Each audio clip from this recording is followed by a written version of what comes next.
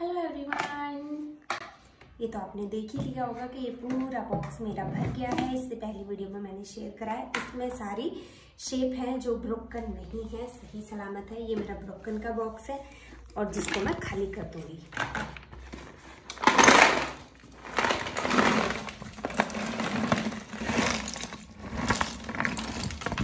ये सब broken white है। इसमें से कोई एक दो ऐसा होगा जो क्लीन नहीं होगा। अदरवाइज़ मैं सारा स्टोव क्लीन करके रखती हूँ।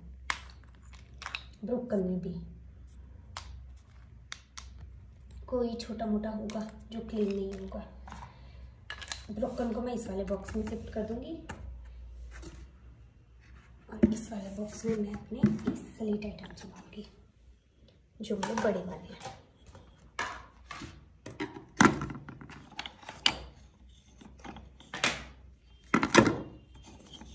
ये शेप अलग अलग रखूँगी पहले साइड में रख लूँ।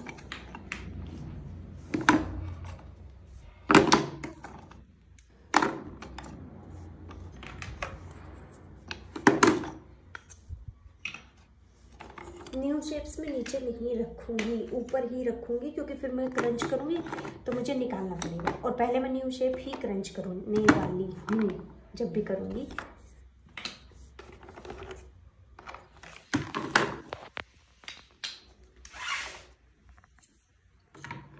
ये लो बार के हिस्सा। जो चिप्स निकल जाते हैं वो।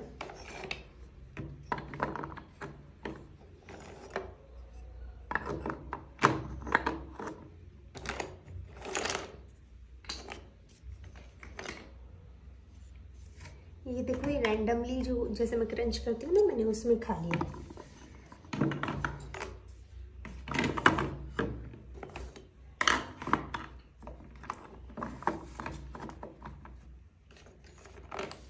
अनशिप्ड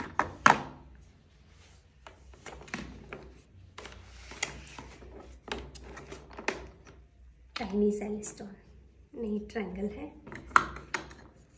टाइनी सेल स्टोन को साइड में रख। आ जाए तो।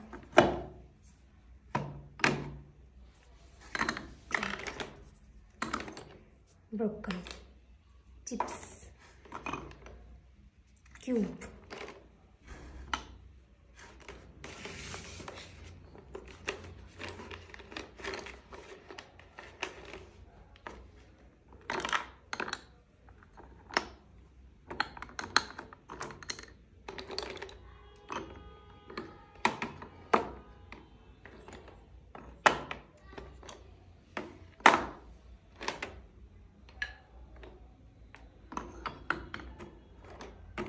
unshaped item है।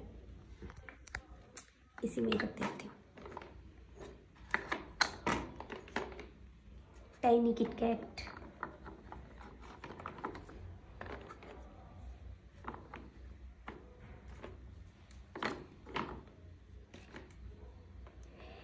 इस तरीके से सेट करने से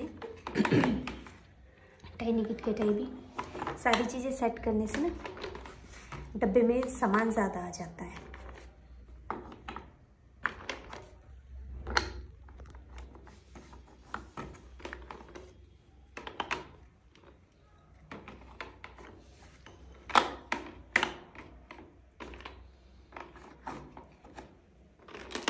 क्यूबिकल बार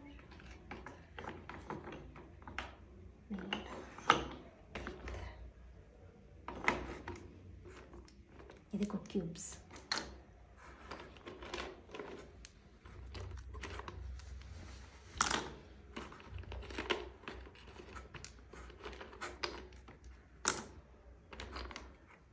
broken cube cube randomly crunch में खाए हुए हैं ये सब।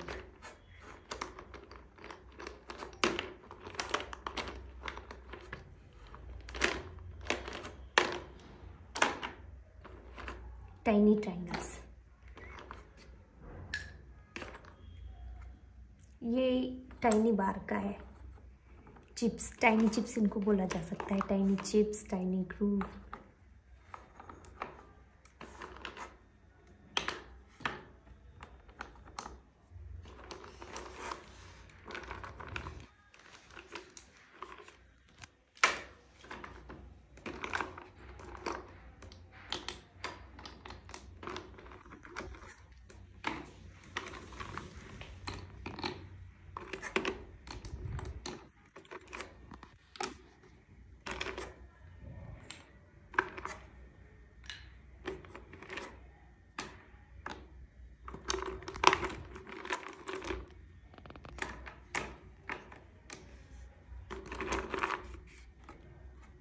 ये अनशेप्ड है। देखो कितना बड़ा थिक ट्रायंगल एक पूरी वीडियो एक ट्रायंगल पे बन जाए। Unshaped bar.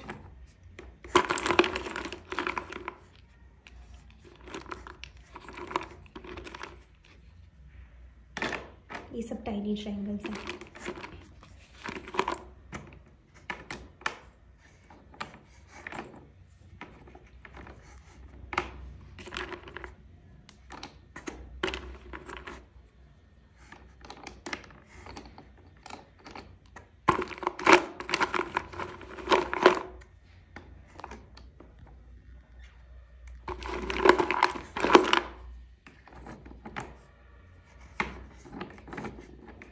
बाहुबली ट्रायंगल सच में बहुत थिक है, ये बहुत ज़्यादा।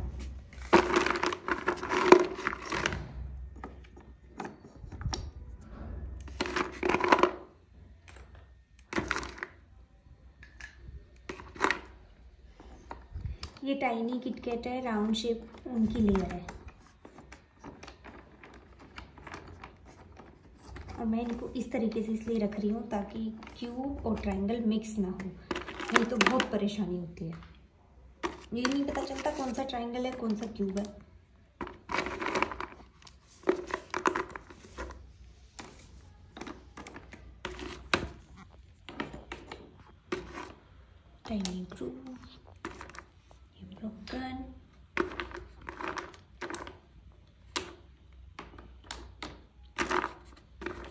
देखो ये सब क्लीन है, पूरा बॉक्स जितना भी स्लेट आइटम है, सारा क्लीन है, लेकिन फिर भी नीचे पाउडर निकला है। वाइट स्लेट आइटम का। ये ब्रोकन है।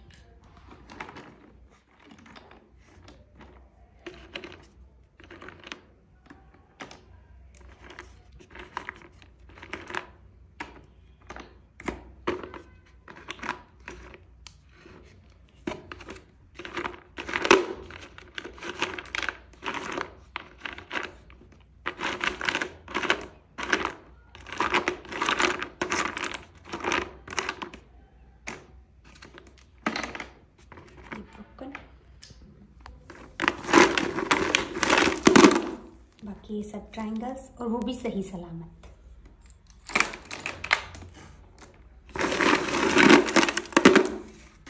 देखो ब्लैक आ गया।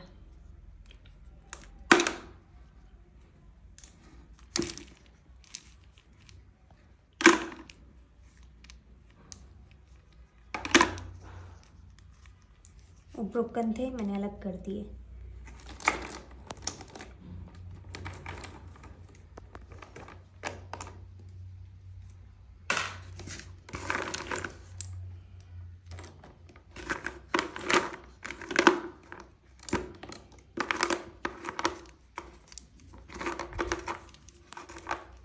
broken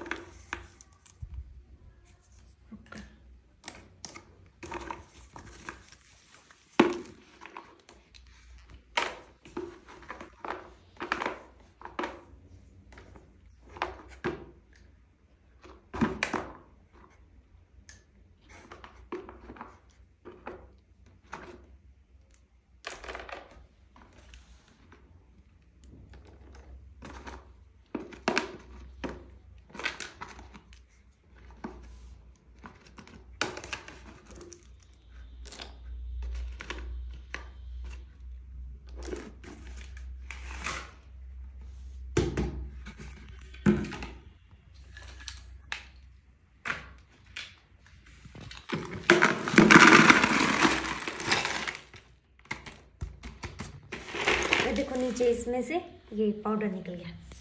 ब्रुकन में से जो पाउडर निकलता है ना वैसे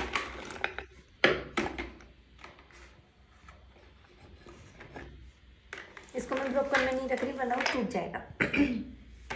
मैं इन शेप को भी रख देती हूँ। कितने सारे टाइनी ट्राइंगल्स हैं। लेयर निकल के हो जाते हैं एक्स्ट्रा तो ये। ये हमारी न्यू शेप्स और बची हुई न्यू शेप्स भी अब इस बॉक्स में आराम से आ जाएँगी। अब मेरा वाइट का बॉक्स छोटा नहीं पड़ेगा। और ना ही कोई शेप टूटेगी। मुझे फ़िक्र हो रही थी कि डब्बा बंद नहीं हुआ था। और बंद नहीं होता ना तो इसमें से अर्धी इसमें निकल जाती। ये ब्लैक ब्रोकन में डाल दूँगी मैं अभी।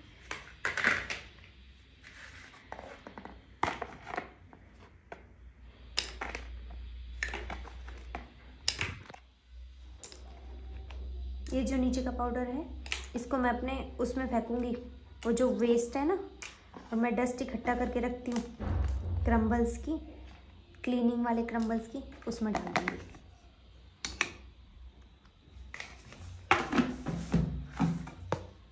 मैं इसको डाल के आती